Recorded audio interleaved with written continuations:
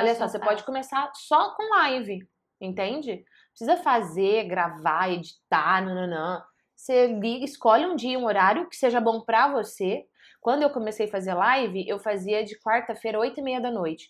Era um inferno. Era filho me chamando, era comida no fogão queimando. Eu, Gabriel, cuida da comida. E queimava comida. Por quê? Porque eu pensava o seguinte: qual é o melhor horário para o meu público? Mas aquilo virava uma tormenta na minha vida, entendeu? Eu falava, meu Deus, tá tudo errado. Peraí, qual que é o melhor horário para mim?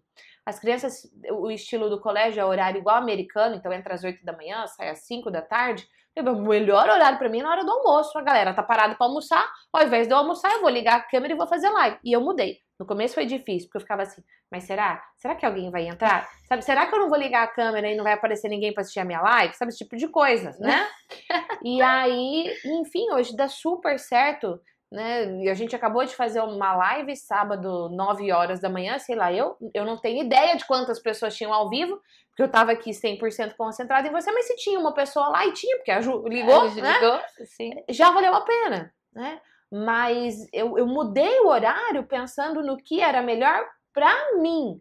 Logisticamente, qual é o horário que eu consigo ligar a câmera para fazer a live e contribuir de verdade, verdadeira, assim, na vida da pessoa, entendeu?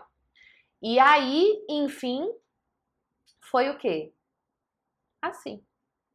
Então, minha sugestão é: comece seu canal do YouTube fazendo Live. live. Entende? Você- onde você tem audiência? Gia, eu tenho audiência no Instagram, né? Ou vou começar na fanpage. Ou você grava no YouTube, baixa e depois sobe na fanpage, entendeu? Mas no Instagram, você faz a live, ela some 24 horas, entende? Uhum. Ou você bota lá dois celulares, né? Um aqui fazendo na fanpage e o outro aqui fazendo no YouTube, entende?